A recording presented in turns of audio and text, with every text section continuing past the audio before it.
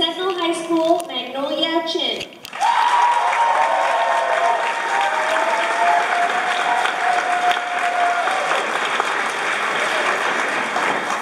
Also a finalist from Flathead High School, Janice Hadwin.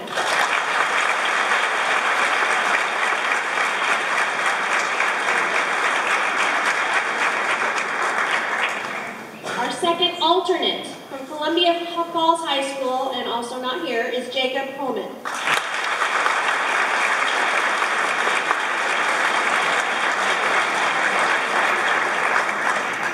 First alternate from Glacier High School,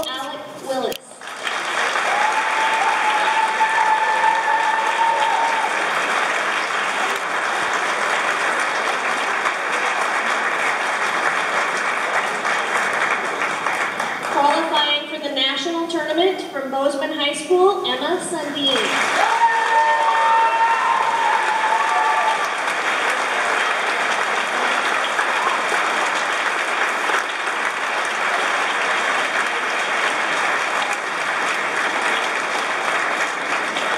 Also qualifying from Flathead High School, Tristan Phillips.